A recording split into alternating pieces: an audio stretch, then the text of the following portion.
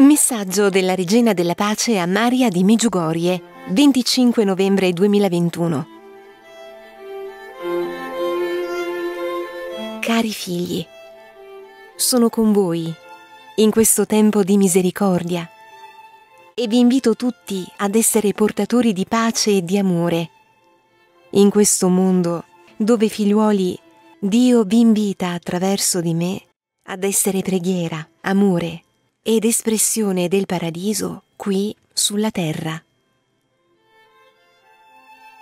I vostri cuori siano riempiti di gioia e di fede in Dio, affinché figliuoli possiate avere totale fiducia nella sua santa volontà.